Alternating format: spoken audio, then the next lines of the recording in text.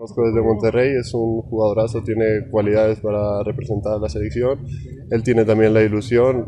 Recién yo voy aterrizando y, lo acabo de saludar y, bueno, él está contento, está ilusionado y, jugadores como él que tengan esa hambre, esa ilusión de querer representar a nuestro país, bienvenidos sean. César, mucho decían... Contra, contra Valencia, Perdón, pues, tomando en cuenta que, este, ¿cuánto va a llevar el partido contra Valencia? Tomando en cuenta pues, que es el último lugar de la tabla en España, viene sin nueve titulares, ¿cuánto le va a ayudar este, este partido a, usted? Bueno, es un partido de, de preparación, ¿no? pero lo afrontamos de la mejor manera. Como club, eh, siempre tratan de tener los mejores jugadores de acuerdo a sus posibilidades y, y, lo que representa en su liga.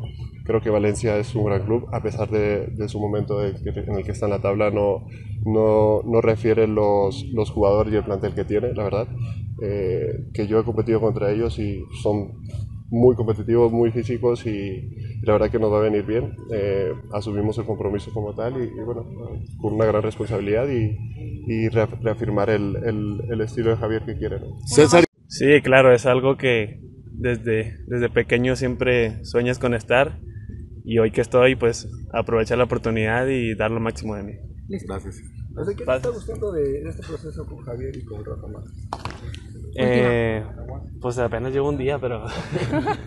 pero bien, creo que, que puede, puede ser buena mancuerna con la experiencia de, de Javier y, y, lo que fue Rafa Márquez. Entonces creo que, que vengo a aprenderles mucho a ellos y, y esperemos que nos vaya muy bien.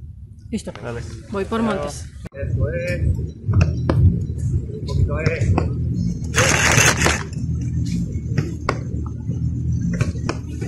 poco a poco va.